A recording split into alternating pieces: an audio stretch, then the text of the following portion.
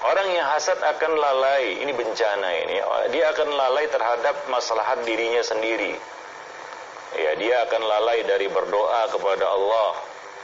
Karena dia sibuk hatinya mengurusi orang lain. Nah, inilah dia musibah orang yang hasad. Hatinya selalu sibuk mengurus urusan orang lain. Dan dia lupa urusan dirinya sendiri.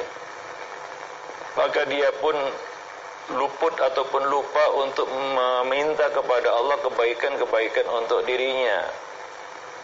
Hatinya justru dipenuhi dengan keinginan-keinginan agar nikmat-nikmat yang ada pada orang lain, orang yang dihasatinya itu hilang. Ya lenyap dari orang yang dihasatinya itu. Nah hasad ini akan menyebabkan penderitanya lupa berdoa, memohon karunia kepada Allah untuk dirinya.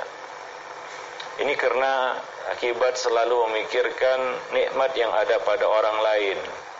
Bukankah Nabi Shallallahu Alaihi Wasallam mengatakan, lihatlah orang-orang yang ada di bawahmu, jangan lihat orang yang di atasmu. Salah satu musibah kita selalu melihat orang yang di atas kita. Yang pertama kita akan meremehkan nikmat. Yang kedua, ya itu akan menyuburkan penyakit hasad di dalam hati, akan menumbuhkan penyakit hasad di dalam hati.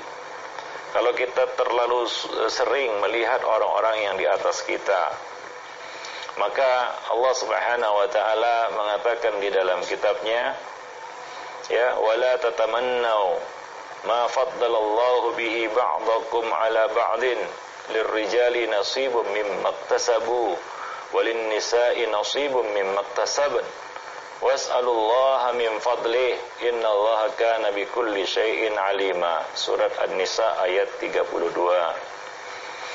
Allah mengatakan dan janganlah kamu iri hati terhadap karunia yang telah Allah lebihkan kepada sebahagian kamu atas sebahagian yang lain.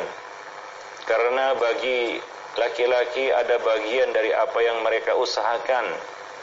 Dan bagi wanita perempuan ada pula bagian yang mereka usahakan bagi mereka bagian dari apa yang mereka usahakan.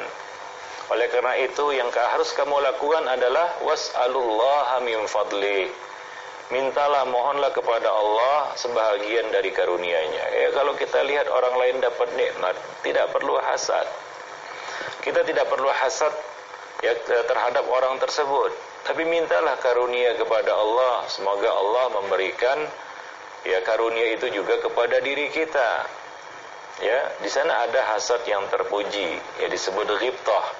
Yaitu menginginkan kebaikan e, seperti kebaikan yang Allah berikan kepada orang lain. Misalnya kita melihat orang lain mendapatkan harta lalu dia bersodakoh dengan harta itu maka muncullah keinginan kita pun memohon kepada Allah. Seandainya ya Allah Subhanahu wa taala memberikan kekayaan itu kepada kita kita akan berbuat seperti yang dia lakukan, berinfak, bersodakoh. Nah ini adalah hasad yang terpuji, disebut ribtah. Ya, ini yang dianjurkan. Ya, ini bukan akhlak hasad yang tercela. Ya, tapi uh, eh, seandainya ya, eh, dalam hati kita ada kebencian terhadap nikmat yang Allah berikan kepada saudara kita itu, nah ini adalah hasad yang buruk. Ya, kita benci dan kita justru sibuk hati kita sibuk agar nikmat itu hilang darinya. Ya, yang kita lakukan justru seharusnya sebaliknya. Yaitu kita mohon kepada Allah semoga Allah memberikan karunia seperti yang Allah berikan kepada saudara kita itu. Dengan memohon kepada Allah agar karunia yang Allah berikan kepada saudara kita itu ya bertahan atau mungkin bertambah.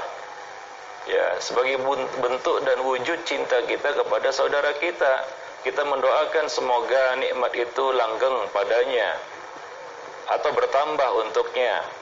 Ya sembari kita mohon kepada Allah semoga Allah memberikan karunia yang sama atau bahkan lebih untuk kita.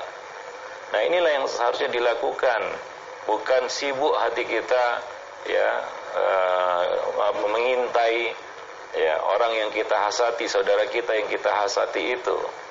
Ya mencari-cari celah, ya berusaha untuk menahan rezeki ataupun nikmat yang Allah berikan kepada saudara kita itu. Ya, nah demikian wallahu alam bisawab.